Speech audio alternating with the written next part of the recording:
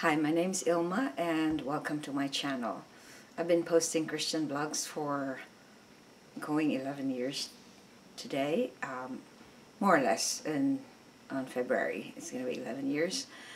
And I've been posting it every day so I could bring the good news to your homes, your hearts. Today I'd like to share Psalm 56, 8 to 13. And here's God's Word. You have kept count of my tossings, put my tears in your bottle. Are they not in your book? Then my enemies will turn back in the day when I call. This I know that God is for me. In God, whose word I praise, in the Lord, whose word I praise, in God I trust, I shall not be afraid.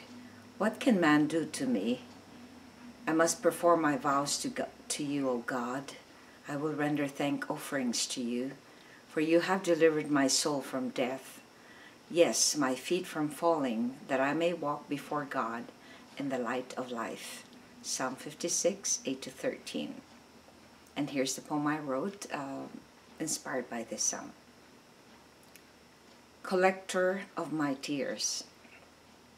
Whenever you are grieved and suffering, be joyful all those who belong to God will constantly be assured. The Lord collects all our pains, sufferings, and tears in a bottle. We need not be hopeless, for He knows all that we undergo.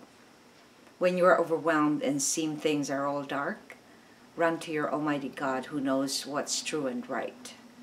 Though enemies surround you, trust that the Lord protects. It may seem so impossible to win, but He delivers the faithful. Can you fathom how this faithful God can be concerned with our pain? He is steadfast in his love. Continue to rely and depend on him. In God we will trust, for he sees everything and is in control. Surrender your life to the one who is omnipotent and omniscient. Reflection. Can you visualize and translate in words what comes in your mind when the psalmist mentions in verse 8 that the Lord put our tears in a bottle. And how can this picture assure us of his love for his people? Would you ever know anyone who would do that for you? When you're crying and tears fall on your cheeks, somebody comes up in a bottle and actually put all your tears in a bottle. That seems so um, probably nobody does that, but it is so interesting how the visual is. I could see like a person crying and bawling to tears about what's going on in their life. Maybe somebody they lost, maybe some uh, love unrequited. Like so, when I see this picture in my mind, it's it's like um, it's such a very tender picture of a, a very gentle and loving God and very thoughtful and very comforting.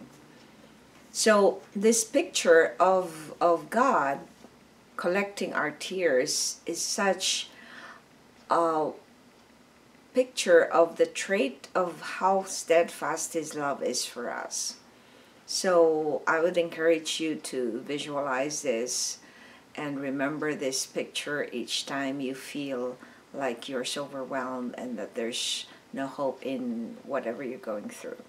So I encourage you to reflect on this psalm because this psalm assures us that God loves us so much and that no matter how little our suffering is, He knows it and He understands it and He treasures all the pain and all the suffering that we go through because that will give us a reward in heaven when we go and see him in the end.